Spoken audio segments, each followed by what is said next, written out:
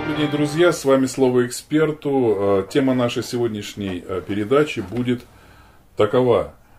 Э, текущее положение дел в области судебной экспертизы и в частности в области экспертизы автотранспорта. В гостях нашей студии слева направо Иванов Алексей Борисович, представитель Центра экспертизы автомобилей, и Гарабана Николаевна, замдиректора Федерации судебных экспертов.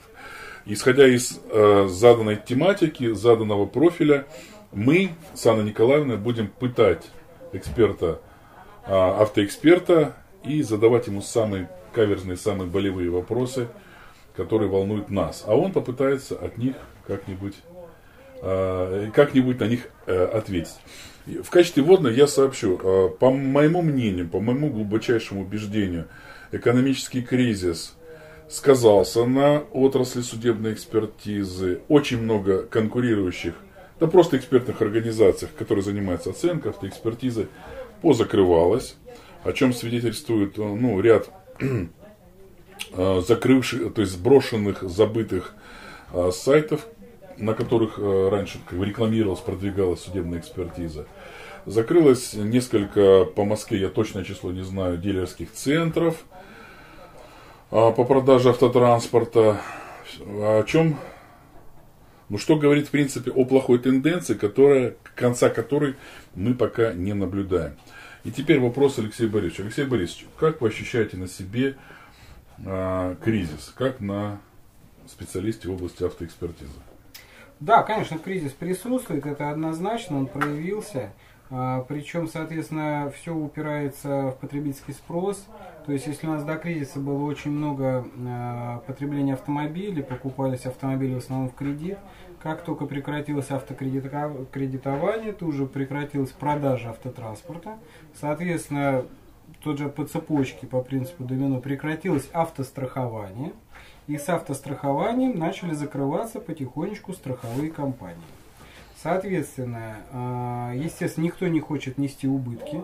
Все хотят эти убытки по какому-то а, любыми способами избежать эти убытки. Естественно, что а, продавцы автомобилей не хотят исполнять свои обязательства по гарантийному требованию.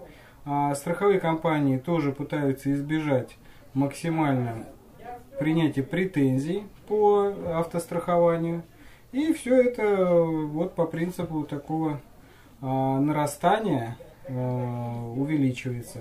Соответственно, так как закрылось достаточно много а, автодилеров, высвободился огромный, можно сказать, штат сотрудников.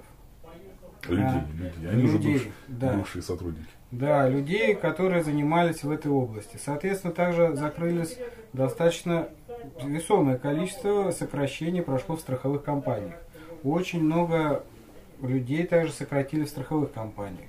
И эта вся масса, она пошла заниматься автоэкспертизой. Автоэкспертизой. Да, абсолютно верно. И в прошлом году мы вот как раз ощущали такой всплеск.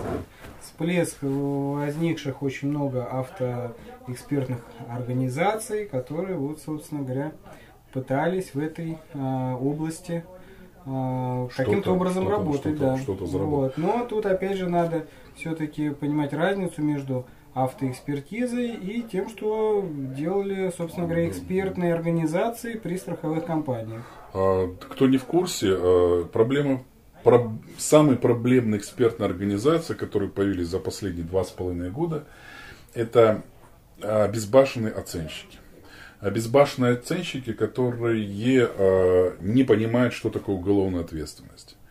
То есть все оценщики, которые работали в РО, там, а, НКО, РКО и прочих СМАО, ну и прочих саморегулируемых организациях, не боятся ничего и не боялись ничего.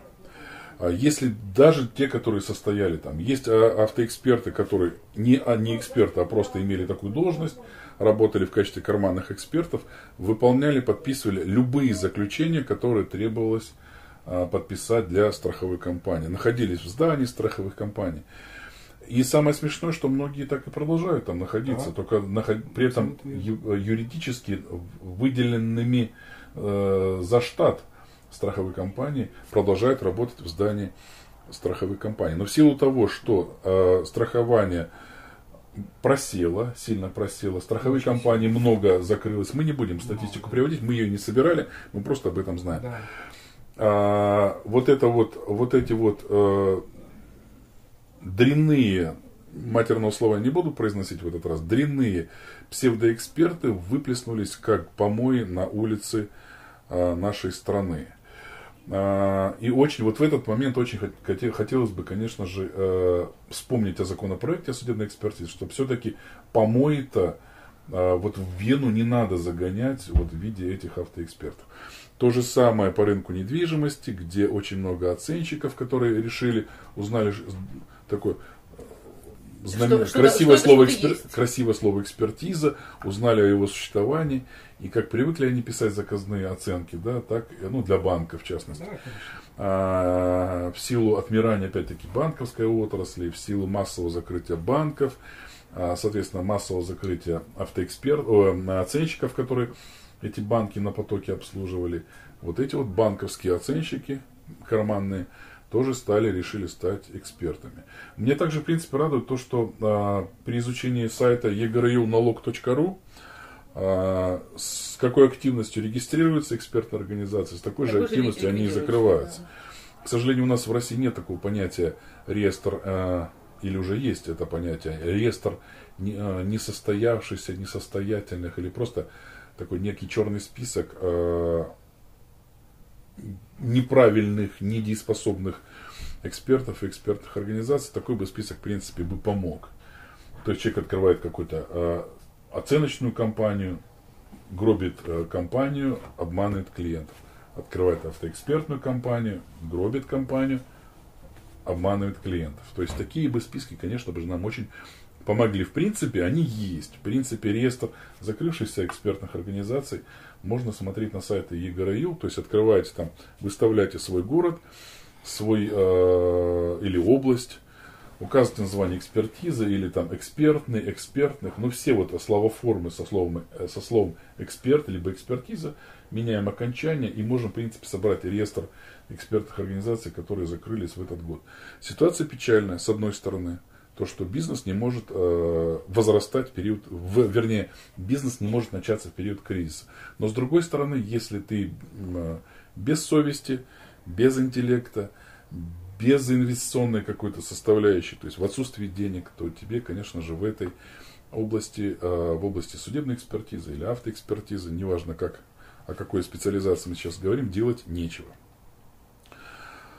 Совсем недавно, кстати, совсем недавно я купил сайт, брошенный сайт экспертной организации. Сайт называется э, sibexpert.rf. Кто забьет его, поймет, куда он ведет. Мы его настроили, переадресацию на наш на наш сайт. Это целая была гильдия сибирских экспертов.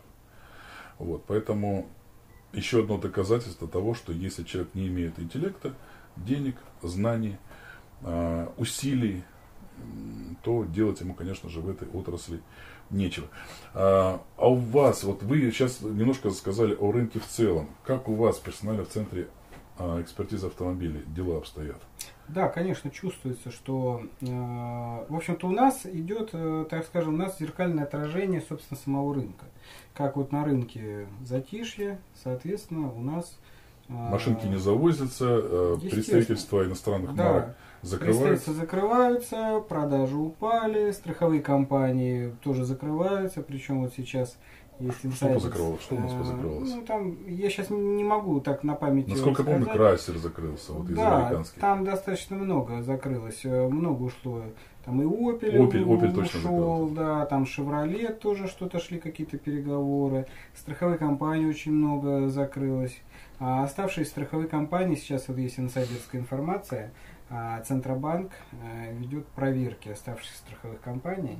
Соответственно, там на предмет э, разного рода э, нарушений. Вот, то есть нас, я думаю, в ближайшее время ждет еще а, интересные новости. Слопывание банков, понятно, уже да. 20, более 20 банков ушло, да, в вот, небытие. Теперь, страхов... теперь страховой. Центробанк, да, взялся за страховые, то есть тоже будет, я так понимаю. Я так, я так полагаю, вот сидит директор Центробанка и говорит, ребята, займитесь чем-нибудь полезным. Хватит обманывать, хватит обманывать на, народ. Ну, хватит. Ладно, берете деньги за страхование, но вы выплачиваете, сволочь. Выплачиваете. Зачем? Вы, вы институт до, со знаком плюс. изначально был, ну, создавался. Вы же делаете из нечто положительного, абсолютно омерзительное явление, это автокидалово или автострахование, так называемое, которое, по которому выплаты вы полноценные не получаете. Как вы думаете, Алексей Борисович, на сколько лет, месяцев, год, годов затянется этот кризис? Есть ли какие-то?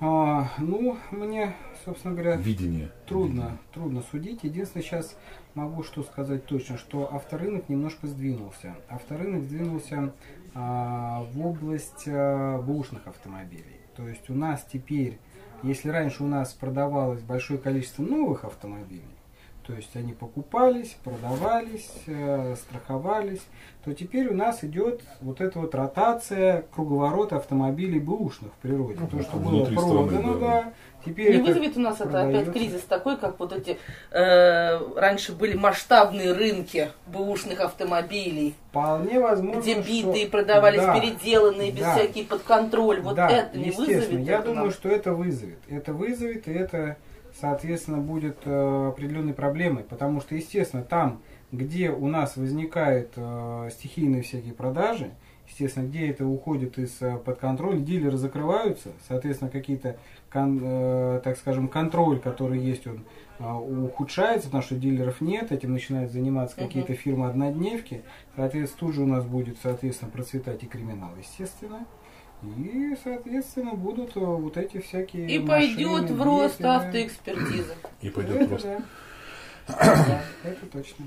Алексей Борисович, ну смотрите, нас слушают, естественно, не только простые граждане, но и молодые, а может быть не молодые автоэксперты. Что делать человеку, который а, обучился на оценщика, а, либо обучился на технического эксперта автотранспорта, ну и занимался, работал в рамках так называемого ОСАГО, да, Куда бы вы рекомендовали такому человеку пойти? И, ну, что, и что делать? Действительно, таким, сейчас таким? очень трудно что-то рекомендовать, потому что вот э, рынок находится в таком состоянии, каком-то шатком. То есть абсолютно непонятно. В страховых компаниях э, сейчас э, работы нет. Работы нет практически. Э, в автодилерах, в автопродавцах тоже работы нет. Соответственно, ну, а вот подобного рода там однодневки автоэкспертизы также они открываются и закрываются. Потому что это не просто. Я вспоминаю замечательные 90-е годы, когда, э, когда, это можно не вырезать, когда в городе Находка, где я жил, э, в 90-х годах было всего лишь два автоэксперта. И оба ездили на ленд-крузерах и у них было соревнование на 180 тысяч населения, было соревнование какого-то эксперта машины круче. Вот сейчас, к сожалению, да, действительно, а, автоэксперты упали уже давно, и оценщики очень низко. Низко по заработной плате, низко по просто востребованность и цена а, цена специалистов такого формата стала очень-очень низкая. Единственное, единственное, чем э, можно было бы заниматься автоэкспертом, это экспертиза технического состояния транспортных средств. Но, но это специалисты очень э, сильные, очень редкие и рынок э, таких инженерных экспертиз, не просто оценить битую машинку, конечно же, э, совершенно отличается от э, других прочих видов экспертиз. Да, вы абсолютно верно говорите, потому что, так скажем, наработать кредит доверия перед э, потребителям. Перед очень, судами. Перед судами очень трудно в данной области.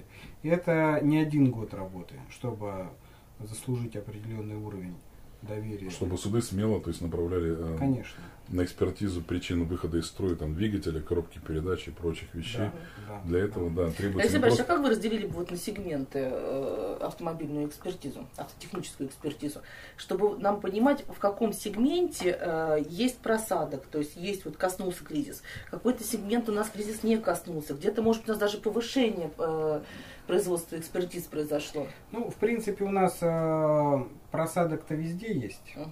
Вот. Но опять же, здесь, конечно, надо разделять. То есть, скажем. Что-то отмерло? А, да. Или а, отмерло? Да, ну, немного, скажем, а, как бы ситуация изменилась, а, сместилась, так скажем.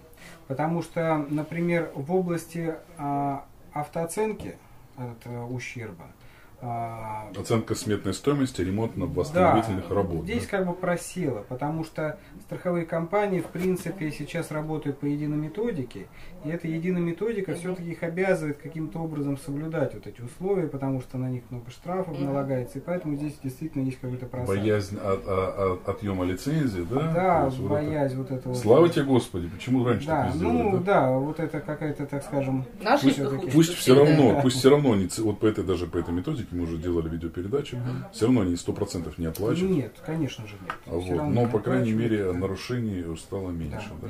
Вот. Но с другой стороны, опять же, я еще думаю, с чем связано, что люди меньше идут в суды, обращаются в суды по этой проблеме, потому что суд это всегда затратное Мгм. достаточно мероприятие. И как бы человек, не обладая средствами на судебные На тяжбы, адвокат, на адвокат. да, для со страховыми компаниями, и, соответственно, он просто как бы смиряется вот с этим. Мгм.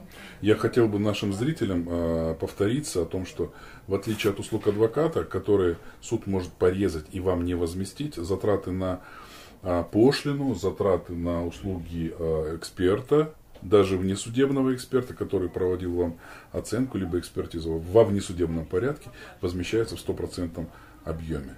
Поэтому, друзья мои, затраты на наши услуги, на услуги Да, автоэксперта, это процессуальное законодательство, оно четко регулирует. они данный являются для вас всего лишь инвестицией, причем возвратной, железобетонной. Вот это, в принципе, людей должно немножко расслабить. Да, адвокат вам обойдется в определенную сумму, все деньги вы не вернете, хотя, может быть, и вернут.